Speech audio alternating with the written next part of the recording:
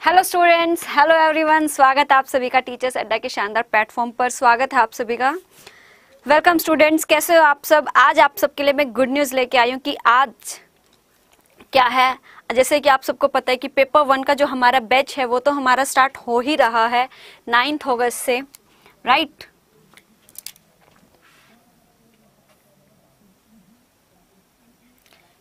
Student, जैसे आप सबको पता है कि पेपर वन, जो यूजीसी नेट पेपर वन है, उसका जो हमारा बैच है, वो नाइन्थ अगस्त से स्टार्ट हो रहा है। राइट नाइन्थ अगस्त जो कि परसों, यानी कि मंडे से है, जहाँ जहाँ से हम जो पेपर वन है, वो आपका जो क्या है, पेपर वन स्टार्ट होने वाला है। साथ ही साथ एक गुड न्यूज़ क्या है आपके पास, कि अब टीचर्स अड्डा आप सभी स्टूडेंट्स के लिए यूजीसी नेट पेपर टू यानी कि जो हमारी कॉमर्स है पेपर टू जो कि मैं पढ़ाने वाली हूँ, वो पेपर टू कॉमर्स का भी जो आपका बैच है, वो स्टार्ट हो रहा है ट्वेंटी थर्ड ऑगस्ट यानी कि रक्षाबंधन से एक दिन नेक्स्ट डे ही आप सभी स्टूडेंट्स के लिए क्या है UGC NET paper two commerce के लिए क्या हो रहा है बैच स्टार्ट हो रहा है।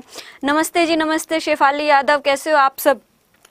तो हमारे साथ जुड़ना ना भूलिएगा, जो इस बैच की हमारी टाइमिंग है, वो टेन थर्टी पी नहीं ए मॉर्निंग सुबह साढ़े दस से साढ़े ग्यारह रहेगी। क्या रहेगी? सुबह साढ़े दस से साढ़े ग्यारह। पेपर टू कॉमर्स के लिए जो भी स्टूडेंट्स आपने आपको एनरोल करना चाहते हैं, जो पढ़ना चाहते हैं, क्योंकि हम यहाँ पर आपको एजुकेटर बनाने में, आपकी कॉन्सेप्ट को बिल्ड करने पे हम ध्यान देंगे और आप, हम आपको इतना मटेरियल प्रोवाइड करेंगे, इतने पीडीएफ देंगे मतलब आपको इतना सारा कुछ सिखाया जाएगा, पढ़ाया जाएगा, समझाया जाएगा कॉन्सेप्ट को बिल्ड किया जाएगा तो आपको कहीं और जाने की नीड ही नहीं होगी। और हाँ गाइज़ सिर्फ़ एक बार जो हमारे जो क्लासेस हैं, एक बार उन्हें पाँच दिन तक लेके देखें क्योंकि पाँच दिन का जो हमारा है वो डेमो फ्री रहेगा।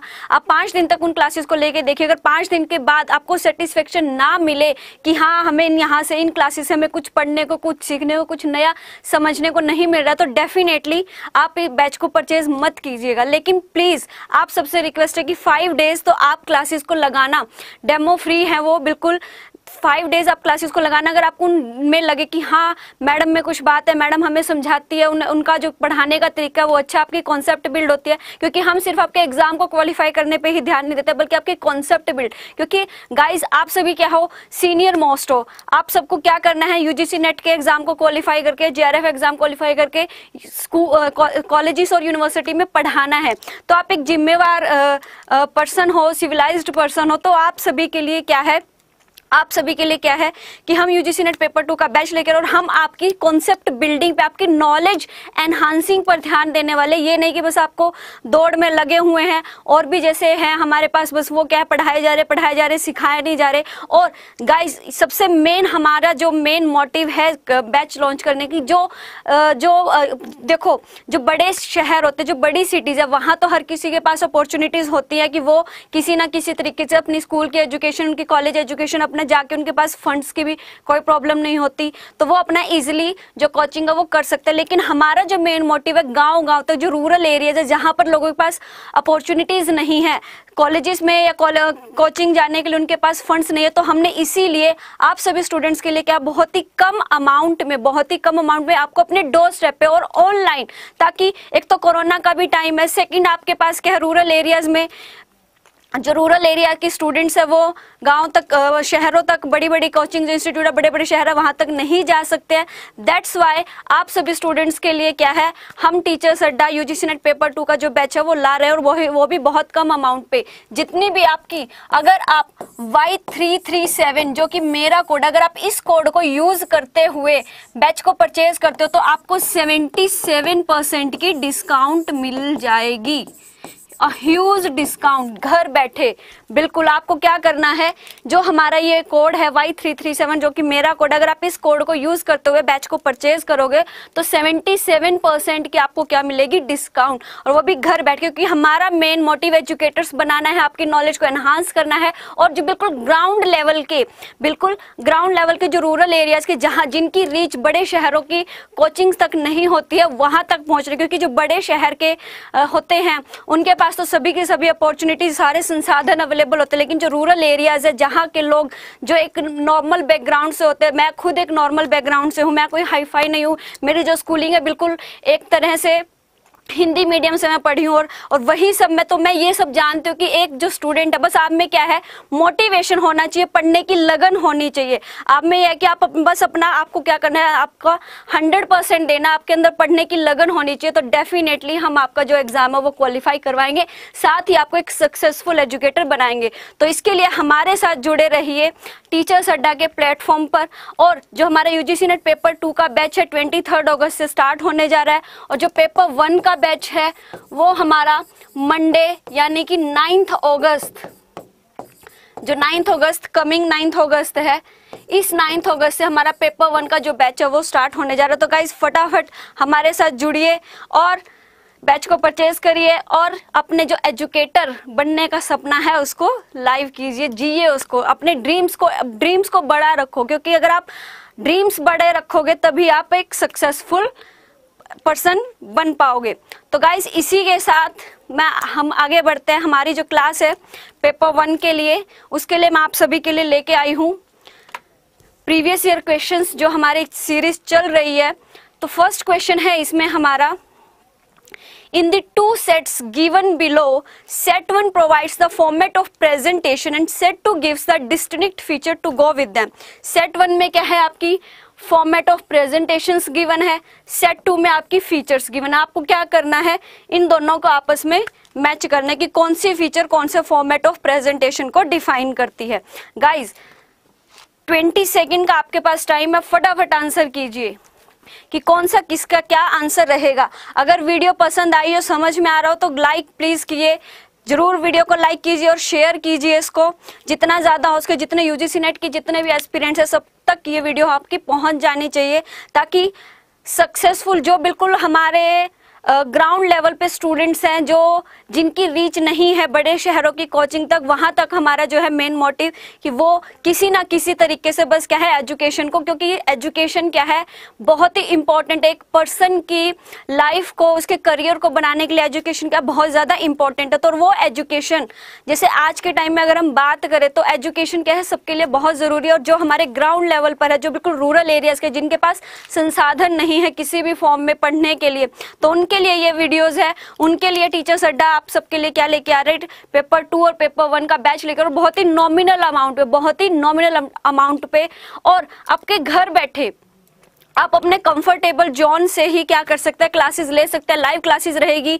आपका रिकॉर्डेड क्लासेस भी आपको दी जाएँगी। साथ ही साथ क्या है आपको पीडीएफ की फॉर्म में सारा का सारा डेटा भी दिया जाएगा? डाउट सेशन भी रहेंगे। डाउट में ये नहीं है कि आप सिर्फ़ डायरेक्टली आप कमेंट करके ही पूछ सकते हो। आप लाइव बोल कर भी क्या है, हमसे अपने डाउट्स जो है, वो क्लैरिफाई कर सकते हो। और वो जो डाउट्स है डाउट सेशन है, ये नहीं है कि सिर्फ़ मैं आपको यहाँ पढ़ाई जा रही हूँ और आपकी नहीं सुन रही।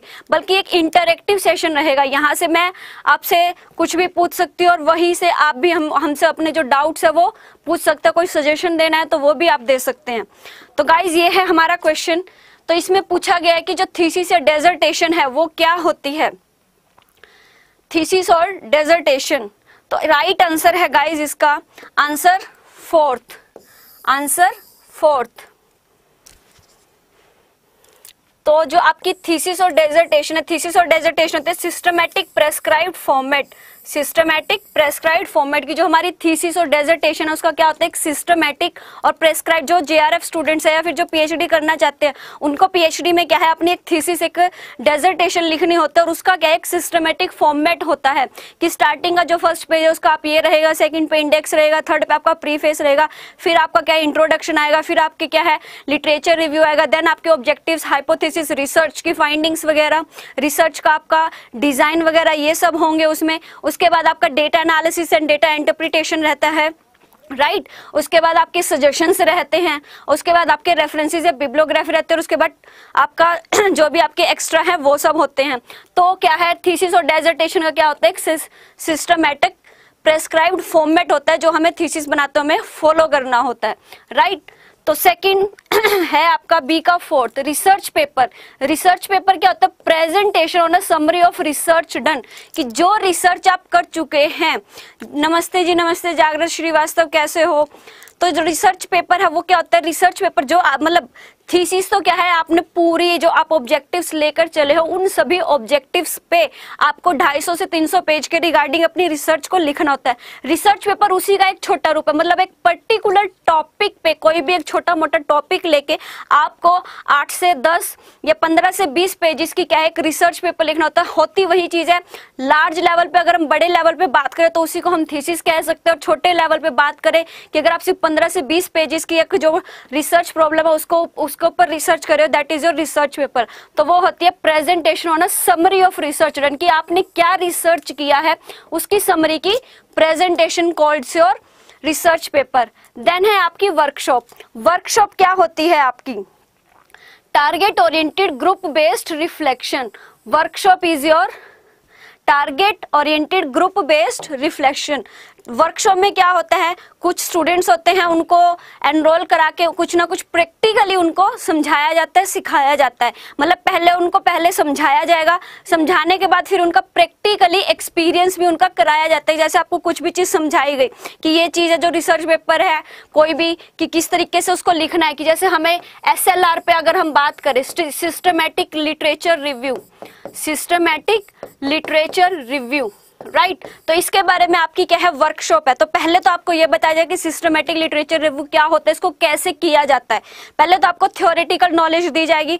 थ्योरेटिकल नॉलेज देने के बाद आपको प्रैक्टिकली कि आप खुद आठ से दस जो रिसर्च पेपर है, उनका लिटरेचर रिव्यू करके दिखाओ। आप खुद प्रैक्टिकली उन चीज़ों को करते हुए एक्सपीरियंस मतलब एक तो पहले आपको थ्योरेटिकल नॉलेज दी गई। थ्योरेटिकल नॉलेज के साथ साथ आपको क्या है? प्रैक्टिकली भी समझाया जाता है प्रैक्टिकली भी आपसे करवाया जाता है दैट इज़ योर वर्कशॉप तो टारगेट ओरिएंटेड टारगेट यानी कि आपको सिखाना है प्रैक्टिकली और ग्रुप बेस्ड क्योंकि इसमें ग्रुप्स है, आठ से दस लोगों का एक ग्रुप बना दिया, फिर उनको सिखाया, इस तरीके से हमारा वर्कशॉप रहती है. वर्कशॉप में मेनली आपका क्या है, आपको प्रैक्टिकल नॉलेज के ऊपर ज़्यादा ध्यान दिया जाता है. उसके बाद है हमारा seminar seminar is your reflective deliberation based on specific themes seminar और वर्कशॉप में यही है। सेमिनार और वर्कशॉप आपकी सेम होती है। फ़र्क क्या है? वर्कशॉप में आपको प्रैक्टिकली सिखाया जाता है और जो सेमिनार है उसमें आपको प्रैक्टिकली नहीं होता, सिर्फ़ आपको थियोरेटिकल नॉलेज दी जाती है। तो ये था आपका क्वेश्चन विद एक्सप्लेनेशन बढ़ते हैं नेक्स्ट क्वेश्चन की तरफ़। नेक्स्ट क्वेश्चन है आपका which of the following statements best reflect the meaning of and characteristics of research कि इनमें से कौन सा रिसर्च के मीनिंग और करेक्टरिस्टिक्स हो सबसे बेस्ट बताता है। ये चार पाँच पॉइंट आपके पास गिवन है, और आपसे ये पूछा गया कि आप से रिसर्च का जो बेस्ट मीनिंग और करेक्टरिस्टिक्स आपको इनमें से किसकी दिखाई देते कि कौन सा जो पॉइंट है जो रिसर्च को बिल्कुल बेस्ट क्या कर रहा है रिफ्लेक्ट कर रहा है। बताओ स्टूडेंट्स हरी अब वीडियो को लाइक करना ना भूले।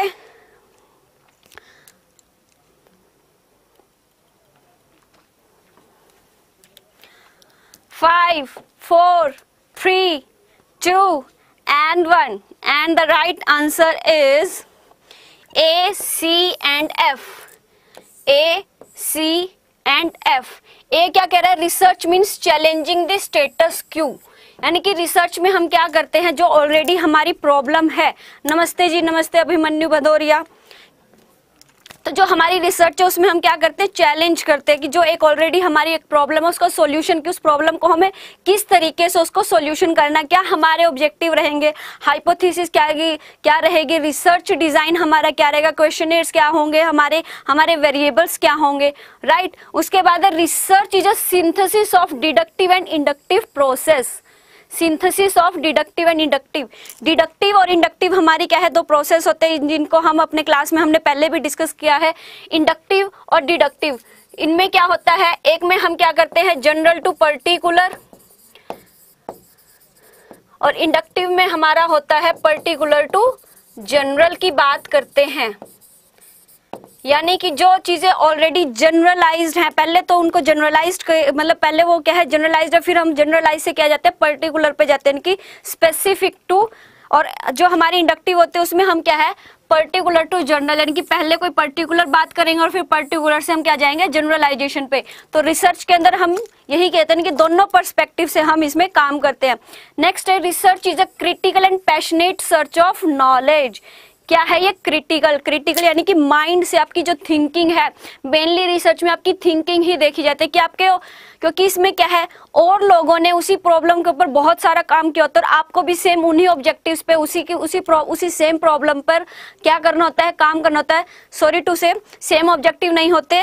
प्रॉब्लम जो है वो सेम होती है, लेकिन उस प्रॉब्लम का सोल्यूशन क्योंकि कोई क्योंकि हर एक जो पर्सन है, उस हर एक पर्सन की जो थिंकिंग है किसी पर्टिकुलर चीज़ को लेके, वो क्या होती है? डिफरेंट होती है। अब मेरी किसी चीज़ के रिगार्डिंग क्या है? डिफरेंट है। आप सबकी हो सकती है उसके रिगार्डिंग डिफरेंट हो।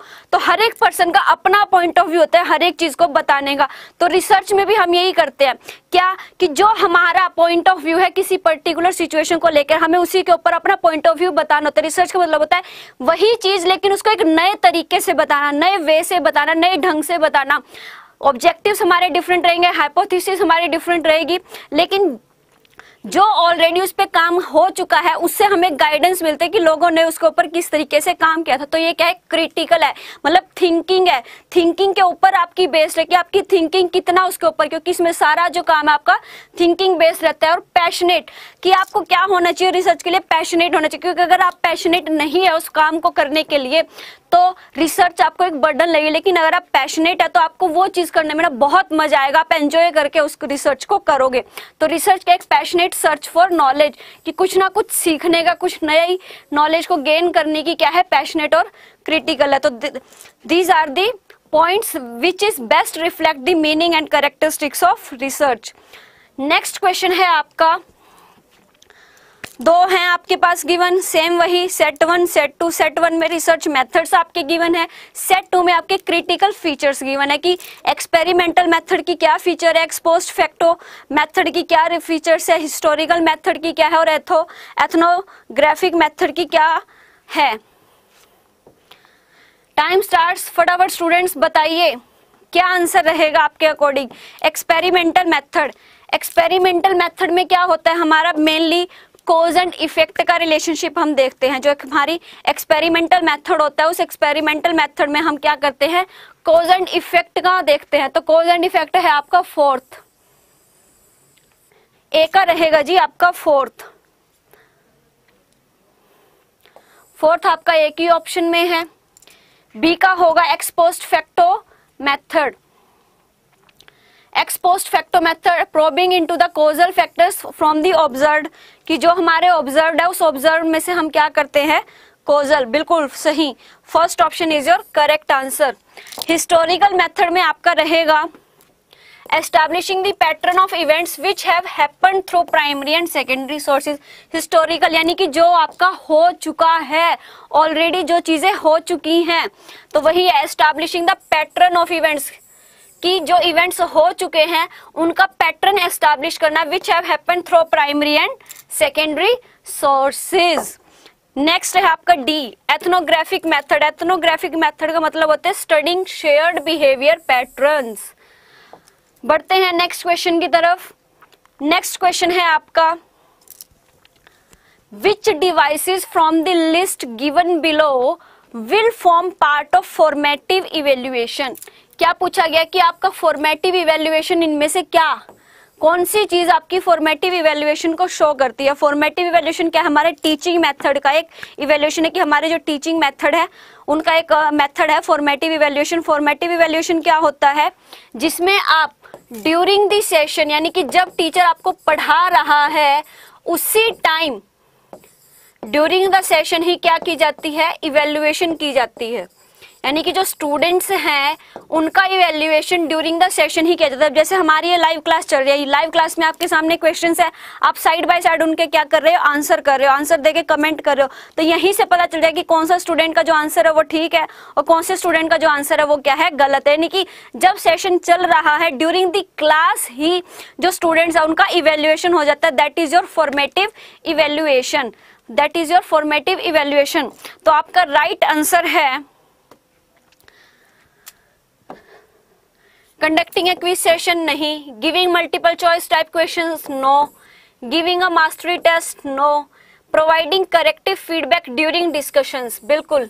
कि ड्यूरिंग डिस्कशन ही क्या दी जाती है? फीडबैक दी जाती है. Encouraging opportunity for metacognitive thinking बिल्कुल. मेटा कॉग्निटिव थिंकिंग के लिए उनको एनकरेज किया जाता है कि जब सेशन क्लास चल रही है क्लास चल रही है, अगर उसी टाइम पे आपको कोई डाउट आ रहा है, कोई सजेशन आ रहा है तो आप उसी टाइम पर पूछ सकते हो और बता सकते हो। यानी कि जब आपकी क्लास चल रही है, उसी टाइम पे जो भी एक्शंस रहते हैं, जो रिएक्शंस रहते हैं, वही सब आपकी क्या कहलाती है? फॉर्मेटिव इवेल्युएशन तो D E and grading students performance on a five point scale so आपका राइट right आंसर है A D and E A D and E D E and A conducting a quiz session sorry guys ये ठीक था आपका। Grading नहीं होती है इसमें। तो राइट right आंसर है आपका A D and E quiz session जैसे कि अब ये क्वेश्चन चल रहे हैं। Right right? सेकेंड आपका corrective feedback during discussion and encouraging the thinking बढ़ते हैं नेक्स्ट क्वेश्चन की तरफ़। नेक्स्ट क्वेश्चन है आपका in order to promote direct learning which of the following methods would be best suited कि डायरेक्ट लर्निंग को बढ़ाने के लिए इनमें से कौन सा मेथड सब, सबसे सही रहेगा? डायरेक्ट लर्निंग डायरेक्ट लर्निंग क्या होती है? जिसमें टीचर और जो स्टूडेंट्स है, वो डायरेक्टली क्या कर रहे हैं? इंटरेक्ट कर रहे हैं। क्या कर रहे हैं? डायरेक्टली इंटरेक्ट कर रहे हैं, वो मेथड आपका क्या कहलाता है? डायरेक्ट लर्निंग यानी कि जिसमें जो स्टूडेंट्स है, वो डायरेक्टली पढ़ रहे हैं। डायरेक्टली उनके जो इंटरेक्शन है आपस में बिल्कुल डायरेक्टली रहते हैं इनडायरेक्टली नहीं रहती दैट इज़ योर डायरेक्ट तो इनमें से कौन सा मेथड डायरेक्ट लर्निंग को प्रमोट करता है? ये आपसे क्वेश्चन में पूछा गया है। टाइम स्टार्ट होता है। आपका नमस्ते जी, नमस्ते। कैसे हो आप सब?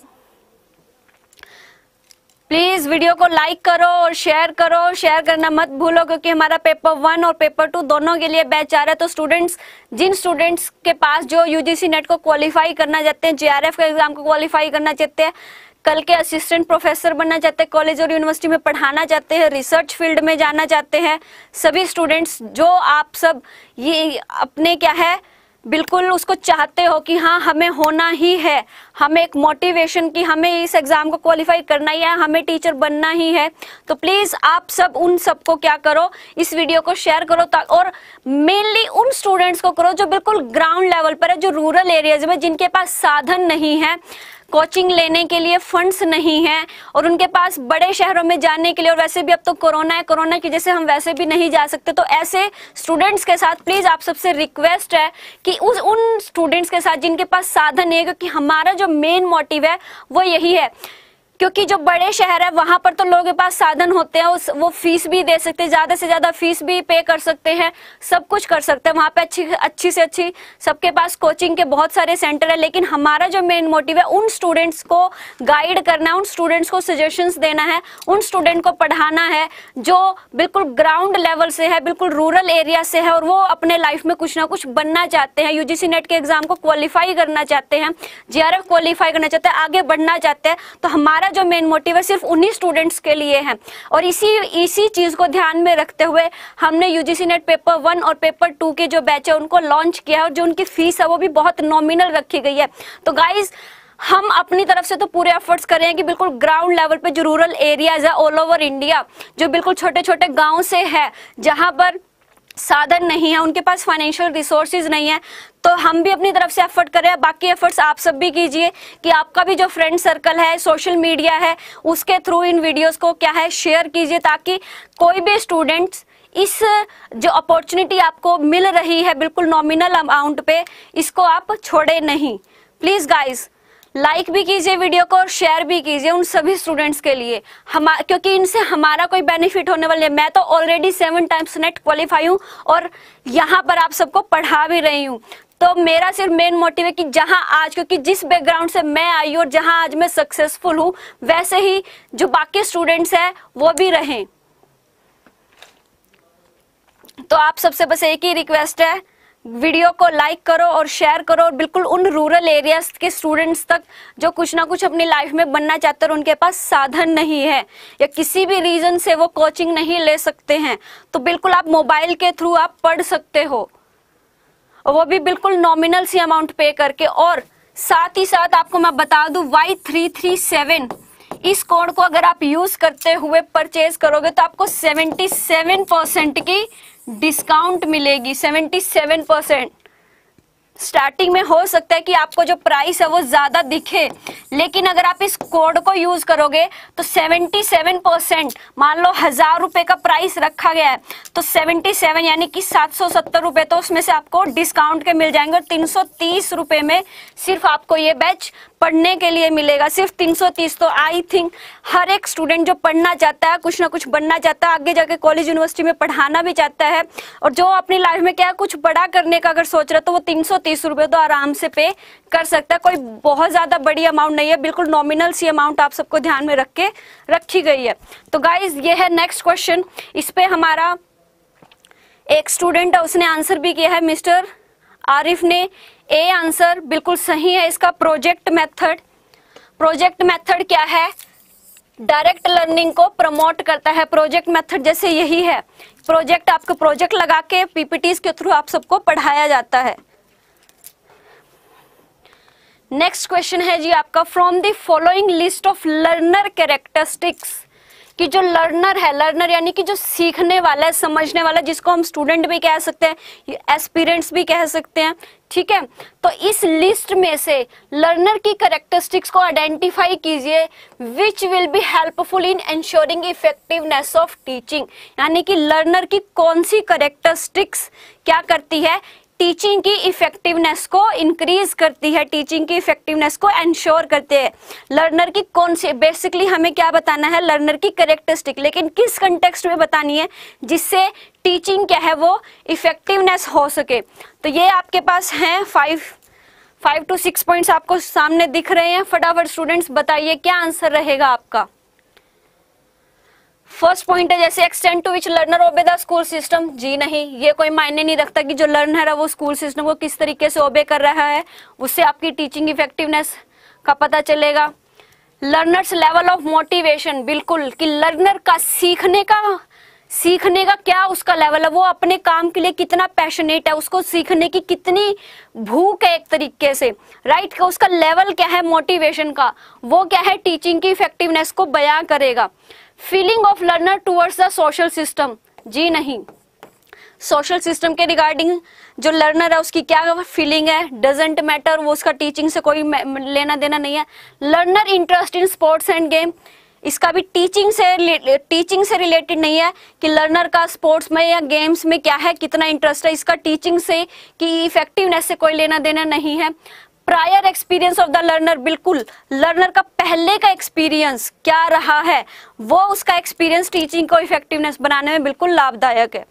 And interpersonal relations of learner कि लर्नर का आपस में इंटरपर्सनल आपस में और टीचर्स के साथ, दूसरों के साथ उसका रिलेशन कैसा है? ये सभी चीज़ें क्या है?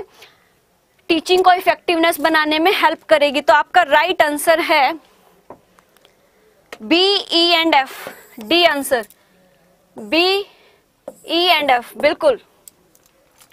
बढ़ते हैं नेक्स्ट क्वेश्चन की तरफ़। मिस्टर आरिफ उद्दीन का आंसर आया बी एंड डी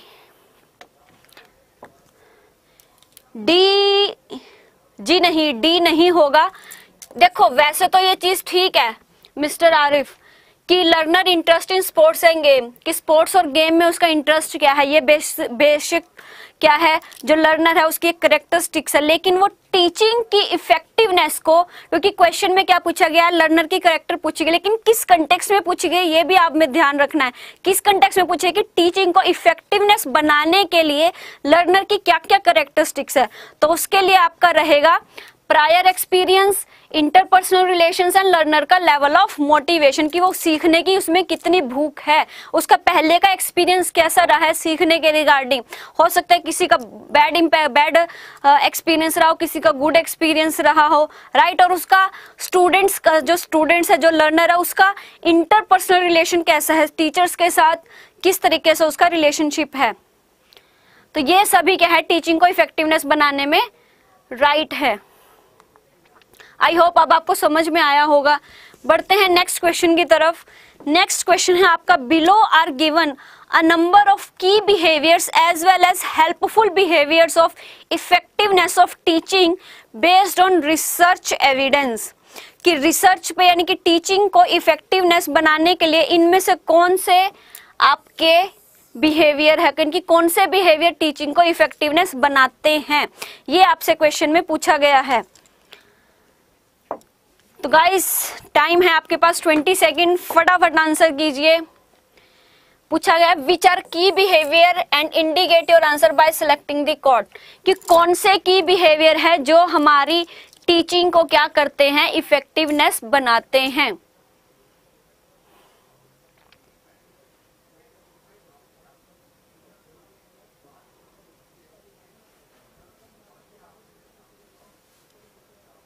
इस क्वेश्चन का स्टूडेंट्स आप सभी आंसर देंगे। आंसर देने के बाद मैं आपको एक्सप्लेन करूँगी। फटाफट।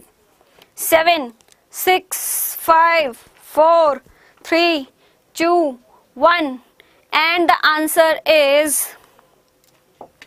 B C and D B C and D is your correct answer की बिहेवियर क्या है? Questioning through content and process level questions कि जो आपका कंटेंट है, उसके रिगार्डिंग क्वेश्चंस करना।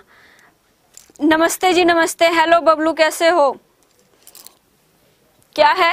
Questioning through content and process level question कि जो कंटेंट आपको पढ़ाया जा रहा है, क्या है जो कंटेंट जो सब्जेक्ट मैटर आपको पढ़ाया जा रहा है, उसके रिगार्डिंग क्वेश्चंस करना right and lesson clarity implying the extent to which presentation are not lesson clarity की जो आपको पढ़ाया जा रहा है, उसकी क्लैरिटी कितनी है, वो क्या है? टीचिंग को इफेक्टिवनेस बनाएगी। वो क्या करेगी? टीचिंग को इफेक्टिवनेस बनाएँगे and probing which imply statement to encourage students to elaborate कि स्टूडेंट्स को ये बताना कि स्टूडेंट्स कितने तरीके से मतलब स्टूडेंट्स को इलाबोरेट करने के लिए एनकरेज करना। इलाबोरेट का मतलब होता है उनको समझाना, उनको सिखाना कि जो आपको समझ में आया है, आप उसके रिगार्डिंग क्या करो, उसको और ज़्यादा इलाबोरेट करो, उसको और ज़्यादा एक्सप्रेस करो, और ज़्यादा खोजो। मतलब इलाबोरेट का मतलब होता है बिल्कुल जड़ तक जाना, उसकी बारीक से बारीक, छोटी से छोटी चीज़ तक जाना। दैट इज़ योर इलाबोरेशन यानी कि कोई भी कोई भी आप टॉपिक कर रहे हो, कोई भी टॉपिक अगर आप पढ़ते हो, जैसे आप टीचिंग के रिगार्डिंग आप जैसे हम टीचिंग एप्टीट्यूड की बात करें टीचिंग एप्टीट्यूड में हमारा एक टॉपिक है टीचिंग मेथड्स ठीक है? टीचिंग इवेल्युएशन मेथड्स में हमारा एक है फॉर्मेटिव इवेल्युएशन तो फॉर्मेटिव इवेल्युएशन की बिल्कुल total A to Z information A to Z information कि उसकी बारीक से बारीक छोटी छोटी हर एक चीज़ को आप, जब आपको उसकी सारी चीज़ के बारे में पता होगा तो स्टूडेंट्स को इसी चीज़ के लिए एनकरेज करने की वो बिल्कुल बारीक से बारीक, छोटी से छोटी चीज़ तक, जो भी टॉपिक है, उसकी बिल्कुल हिंदी में कहावत है, बाल की खाल निकालना। तो वही यहाँ पर हमें करना है। तो स्टूडेंट्स को यही यही उनकी हैबिट बनाने की बिल्कुल जो चीज़ है, जो भी टॉपिक है, उसकी बिल्कुल जड़ तक जाए और फिर उस चीज़ को कंसेप्ट को समझे। तो ये तीनों जो हमारे बिहेवियर हैं, वो क्या करते हैं? टीचिंग इफेक्टिवनेस को बयां करते हैं। हेलो जी हेलो जय पारी, कैसे हो?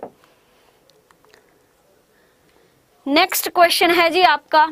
In communicating in a classroom situation which one of the following approaches will be considered most appropriate यानी कि जब हम क्लासरूम में क्या कर रहे हो कम्युनिकेशन कर रहे हो तो इनमें से कौन सा मेथड आपका सही रहेगा?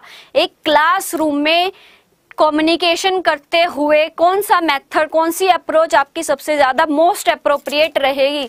बताओ स्टूडेंट्स फटाफट हरी अप 20 सेकंड्स का टाइम है 20 सेकंड्स में फटाफट आंसर कीजिए।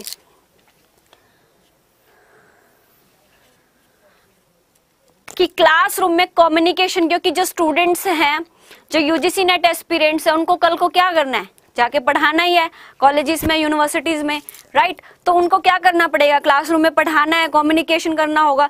तो हमारे यूजीसी नेट के एग्ज़ाम में ना इसी तरीके क्वेश्चंस आते हैं कि आपका टीचिंग एप्टीट्यूड है कम्युनिकेशन है आईसीटी है रिसर्च है मतलब एक तरीके से बिल्कुल क्या है, जो आपको इन फ्यूचर काम करना है, उसी के रिगार्डिंग आपसे क्या है क्वेश्चनिंग की जाती है एग्ज़ाम में। वैसे तो हमारे जैसे बैंक है बैंक की एसएससी की, अगर कोई भी कॉम्पिटिटिव एग्ज़ाम की बात करें तो उसमें क्या है, हमसे उस तरह के क्वेश्चन पूछे जाते हैं, जो हमारी जॉब से रिलेटेड ही नहीं होते। अब बैंक है, उसमें आपको रीजनिंग मैथ्स ये सब करना होता है, वो आपकी जॉब से रिलेटेड ही नहीं है। राइट right, अगर हम बात करें लेकिन जो यूजीसी नेट का एग्ज़ाम है इसमें आपसे जो क्वेश्चंस पूछे जाते हैं ना वो सारे क्वेश्चन आपको फ्यूचर में आपसे ही रिलेटेड है। मतलब आपको जो काम फ्यूचर में करना उसी से रिलेटेड आपका जो है टेस्ट लिया जाता है। उसी के रिगार्डिंग आपसे क्वेश्चनिंग की जाती है कि आपका मेंटल लेवल क्या रहेगा आप रिसर्च कितने अच्छे से कर सकते हो आपकी थिंकिंग क्या है आपका टीचिंग का वे क्या रहेगा कम्युनिकेशन कैसे करोगे और जो आपका मेन सब्जेक्ट है वो तो है ही है। तो यूजीसी नेट के एग्ज़ाम में जो आप फ्यूचर में करोगे, बिल्कुल मतलब रिलेटेड है आपसे। बिल्कुल टोटली रिलेटेड कि जो आप यहाँ पर क्वेश्चंस आपसे पूछे जाएँगे, वही सब आपको फ्यूचर में करना है। तो कम्युनिकेशन करते हुए क्लासरूम में कम्युनिकेशन करते हुए कौन सी अप्रोच सबसे बेस्ट है? तो आंसर है आपका empathetic and pragmatic empathetic and pragmatic empathetic and pragmatic communication का मतलब क्या होता है? जिसमें क्या है स्टूडेंट के साथ इंटरेक्शंस की जाती हैं। मतलब उनको समझाया जाता है, सिखाया जाता है, बिल्कुल ओपन रहता है। उनके साथ मतलब फॉर्मल इनफॉर्मल जिस जिस भी वे है, उन्हीं वे से क्या है स्टूडेंट्स की मेंटेलिटी को समझ, यानी कि जो सामने वाला है, जिसको हम समझा रहे हैं, सिखा रहे हैं स्टूडेंट्स है, जैसे हम स्टूडेंट्स की बात करें तो स्टूडेंट्स की अंडरस्टैंडिंग लेवल को समझ के उनको सारी चीज़ की कॉन्सेप्ट की क्लैरिटी देना is your empathetic and pragmatic empathetic and pragmatic क्या कहलाती है? अप्रोच तो एम्पैथेटिक एंड प्रेगमेटिक अप्रोच का मतलब आई थिंक आप सबको क्लियर है क्या? कि जिसमें हम जो सामने वाला है, जिसको हमें समझाना है, जिसको हमें सिखाना है, उसके अंडरस्टैंडिंग लेवल के अकॉर्डिंग हम उसको क्या करते हैं? समझाते हैं और सिखाते हैं। तो क्लासरूम में कम्युनिकेशन करते हुए हमें जो हमारे स्टूडेंट्स हैं, उनके लेवल के अकॉर्डिंग ही उनको समझाया और सिखाया जाता है। नेक्स्ट क्वेश्चन है आपका। A teacher decides to form six group of students and assign a sub theme to each group for discussion and reporting एक टीचर है, एक टीचर ने छह स्टूडेंट्स का एक ग्रुप बनाया और उनको एक सब थीम दी गई हर एक ग्रुप को फॉर डिस्कशन कि आप सबको एक टॉपिक के ऊपर टॉपिक दे देगा और उस टॉपिक के ऊपर आप सबको क्या करनी है डिस्कशन करनी है और फिर उसके ऊपर रिपोर्ट देनी है। तो which kind of communication model will best describe his or her strategy in this regard कि कौन सा मॉडल सबसे ज़्यादा सही रहेगा? सिचुएशन आपको दे दी गई है। कि आप एक टीचर हैं, ठीक है? एक टीचर है और उस टीचर ने छह स्टूडेंट का एक ग्रुप बनाया है। To form six group of students students के छह ग्रुप बनाए हैं। ठीक है? और सभी जो ग्रुप हैं, उन ग्रुप में क्या दिया गया है? उनको एक सब थीम दी गई है, उनको एक टॉपिक दिया गया और उस टॉपिक के ऊपर उनको क्या कहा गया कि आप लोग को डिस्कशन करनी है, और डिस्कशन करके फिर अपनी रिपोर्ट जो है वो सबमिट करनी है। तो इसमें कौन सा मॉडल आपका सबसे सही रहेगा? सोचो गाइस फटाफट आंसर कीजिए। कौन सा मेथड है वो जो सबसे सही रहेगा इस सिचुएशन में? तो इस सिचुएशन में मिस्टर आरिफ कह रहे हैं, सी हॉरिजेंटल मॉडल हॉरिजेंटल कैसे होगा? हॉरिजेंटल होता है आपका ये। मतलब अगर हम सिंपल बात करें, ये होता है आपका हॉरिजेंटल मतलब यहाँ पर स्टूडेंट्स टीचर यहाँ पर तो जो लेवल है वो बढ़ गया ना, यानी कि एक स्टूडेंट का लेवल ये है एक ये है, एक ये है तो ये नहीं होगा। हॉरिजेंटल तो नहीं होगा। लीनियर होता है ये मतलब एक ही लाइन में है मतलब सेम लेवल के है। ये लाइन का मतलब यहाँ पे क्या है? लेवल सेम है।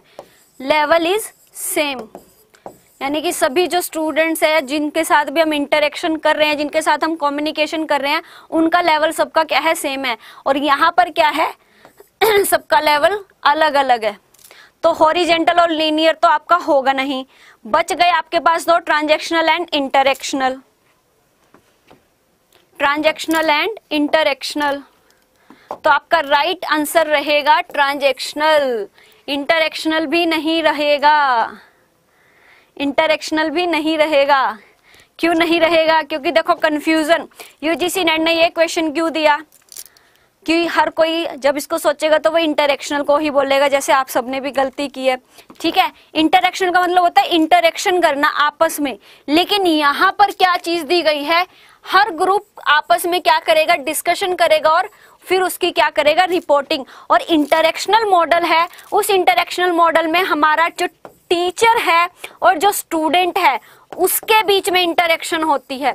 टीचर स्टूडेंट से और स्टूडेंट टीचर से इंटरेक्शन करता है राइट right? लेकिन यहाँ पर जो डिस्कशन होगी, वो स्टूडेंट्स की आपस में डिस्कशन होगी। जो स्टूडेंट्स है, उनकी आपस में डिस्कशन होगी तो इंटरेक्शनल मॉडल भी नहीं है।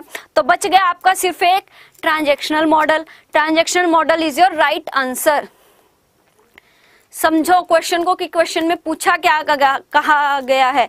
एक टीचर उसने स्टूडेंट्स है, उनके छह ग्रुप बनाए और उनको एक टॉपिक दिया, कहा उनके आपस में आप सबको क्या है डिस्कशन करनी है और फिर रिपोर्ट करनी है। तो यहाँ पर जो इंटरेक्शन रहेगी स्टूडेंट्स की आपस में रहेगी। जबकि इंटरेक्शनल जो मॉडल है कम्युनिकेशन का, उसका मतलब है कि टीचर और स्टूडेंट में इंटरेक्शन राइट तो transactional model is your right answer next है आपका which of the following constitute the paralanguage in communication paralanguage paralanguage का मतलब होता है जो भी आपके गेस्टर्स हैं। जो भी आपके क्या है गेस्टर्स है, जैसे कि आपका फेशियल एक्सप्रेशन है। फेशियल एक्सप्रेशन हो गया, आपकी वॉल्यूम होगी, आपकी वॉइस ये सब आपकी बॉडी लैंग्वेज यानी कि कम्युनिकेशन करते हुए इनमें से कौन सा आपका पैरा लैंग्वेज को शो करता है? पैरा लैंग्वेज पैरा लैंग्वेज मैंने आपको बता दिया किसे कहते हैं। पैरा लैंग्वेज होता है गेस्टर्स हो गए, आपके फेशियल एक्सप्रेशन हो गए, आपकी वॉल्यूम हो गई वॉइस होगी बॉडी लैंग्वेज पढ़ाते हुए इंटरेक्शन करते हुए जो एक टीचर है, उसकी जो भी हाव भाव है, शारीरिक हाव भाव है फ़िज़िकल हाव भाव है, उसका फेस किस तरह से एक्सप्रेस कर रहा है, उसके हैंड्स किस तरह से मूव कर रहे हैं, उसकी वॉइस कहाँ पर ज़्यादा हो रही है, कहाँ पर कम हो रही है, इन सबको हम क्या कहते हैं पैरा लैंग्वेज तो अब आपके पास सामने है, देखो पिच ऑफ़ द वॉइस बिल्कुल internal noise external noise no use of pause and rate and volume of speech कि जब आप पढ़ा रहे हो उसकी वॉल्यूम और उसकी रेट और उसकी पिच वॉइस यही सब आपके किसमें आते हैं? पैरा लैंग्वेज में। तो राइट right आंसर रहेगा आपका A D and D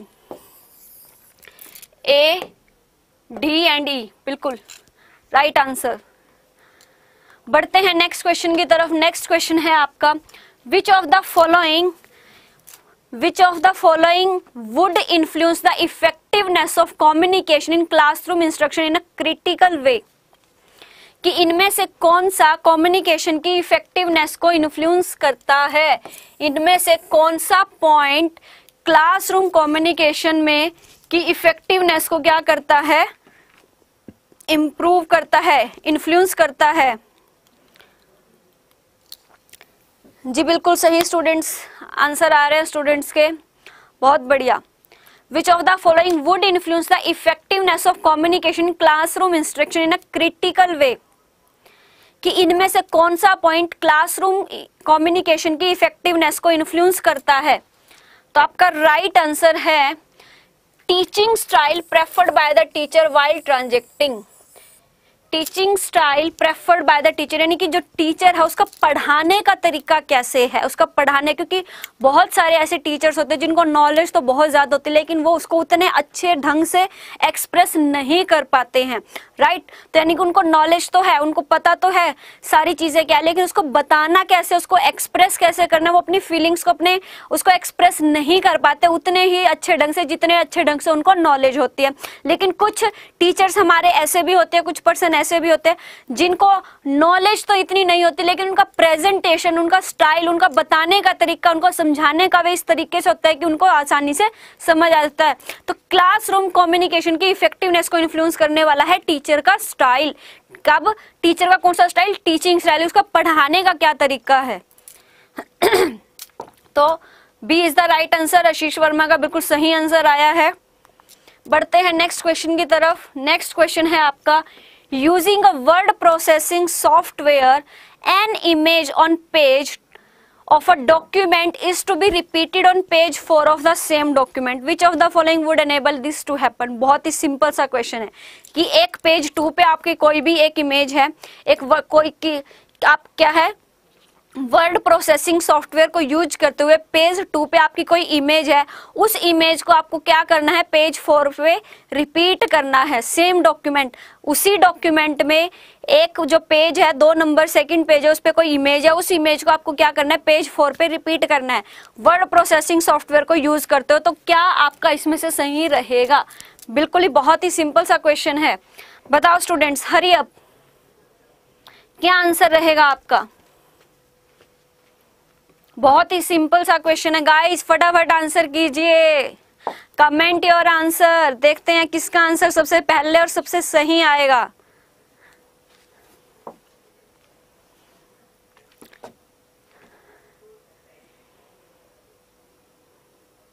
And the right answer is C Ashish Verma का बिल्कुल सही आंसर आया copy and paste well done Ashish बहुत बढ़िया बहुत बढ़िया. बढ़ते हैं नेक्स्ट क्वेश्चन की तरफ़. नेक्स्ट क्वेश्चन है, आपका दो सेट दिए गए हैं CPU RAM ROM and LCD उनके फ़ंक्शंस आपको बताने कि सीपीयू क्या करती है रैम का क्या काम है रोम का क्या काम है और एलसीडी का क्या काम है. कंप्यूटर से रिलेटेड है, बहुत ही सिंपल से क्वेश्चन है आपके. टाइम स्टार्ट होता है आपका। फटाफट बताओ स्टूडेंट्स क्या आंसर रहेगा? सीपीयू सीपीयू का काम है control all the functions performed by the computer's other component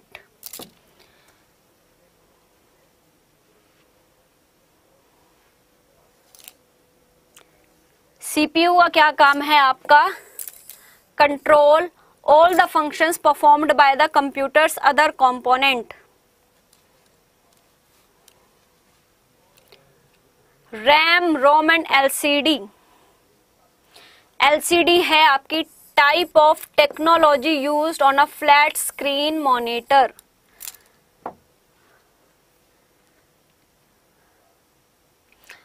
RAM और रोम, अब ये आपको बताना है क्या आंसर रहेगा इसका।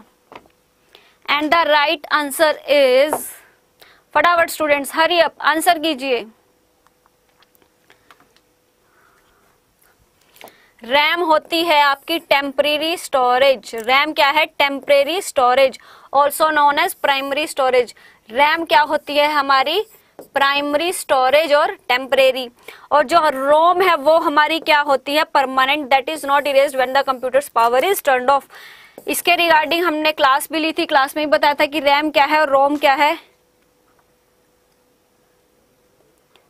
क्वेश्चन ठीक से दिखा नहीं, ज़्यादा ही छोटा है।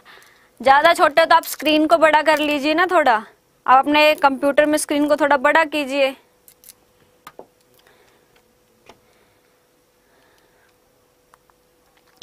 नेक्स्ट क्वेश्चन है आपका। The gap between individuals in a society who are computer literate and have access to information resources like the internal and who don't. Is referred to as कि जो इंडिविजुअल्स है सोसाइटी में जिन, जिनको computer के बारे में नॉलेज है और कंप्यूटर की इंफॉर्मेशन है और ऐसे जिनको इंफॉर्मेशन नहीं है, उन सब का जो गैप है, उस गैप को हम क्या कहते हैं? Information overload digital divide ICT divide और टेराबेट डिवाइड कि जो इंडिविजुअल सोसाइटी के ऐसे इंडिविजुअल जिनको कंप्यूटर के बारे में नॉलेज है इंफॉर्मेशन रिसोर्सिस है कि कंप्यूटर को किस तरीके से रन करना है कंप्यूटर पे कैसे फंक्शनिंग की जाती है एंड दोज हु डोंट और जिनको इस बारे में नॉलेज नहीं है तो उसके गैप को हम क्या कहते हैं? उसके गैप को कहते हैं डिजिटल डिवाइड क्या कहते हैं? Digital divide digital divide is your right answer last question है आपका. In computer terminology which of the following best describe device driver device driver हम किसे कहते हैं? Device driver and your time start now देखते हैं कौन सबसे पहले और सही आंसर देता है। डिवाइस ड्राइवर क्या है? किसे कहते हैं हम device driver Last question of the session. 2, 1 and the right answer is D. Software that allow interaction between peripheral devices and the operating system कि जो हमारी पेरिफेरल डिवाइसेस हैं और जो हमारा ऑपरेटिंग सिस्टम है, उन ऑपरेटिंग सिस्टम और पेरिफेरल डिवाइसेस के बीच में इंटरेक्शन करने के लिए जिस सॉफ्टवेयर को हम यूज़ करते हैं, वो सॉफ्टवेयर हमारा क्या कहलाता है? डिवाइस ड्राइवर जी नहीं हार्डवेयर नहीं B software software software not the hardware software that allows interaction between peripheral and operating system, that is your device driver. तो ये था गाइस आपके फ़र्स्ट पेपर के regarding questions MCQs previous year questions I hope आप सबको ये question पसंद आए होंगे और आपको इन क्वेश्चंस को करने से अपना लेवल भी पता चला होगा आप आपको, कहाँ पर आपको तैयारी करने की नीड है, आप कितने पानी में हैं, कौन सी यूनिट आपकी स्ट्रॉन्ग है टीचिंग में आपका कितना स्कोर है, और रिसर्च में आपका कितना स्कोर है, और आईसीटी कम्युनिकेशन में आप कितना स्कोर कर रहे हो, कौन सी आपके वीक पॉइंट्स है, कौन से आपके स्ट्रॉन्ग पॉइंट है, क्योंकि इन क्वेश्चंस को, जो प्रीवियस ईयर क्वेश्चन है एमसीक्यूज को करने से ही आपको ये सब पता चलेगा। तो इसी तरह के और क्वेश्चन की प्रैक्टिस के लिए हमारे साथ जुड़े रहिए टीचर्स अड्डा के यूट्यूब चैनल पर डेली जो हमारी क्लास है टू थर्टी पे पेपर वन के लिए रहती है और फोर थर्टी पे हमारी पेपर टू जो कॉमर्स है, उसके लिए रहती है। Thank you so much guys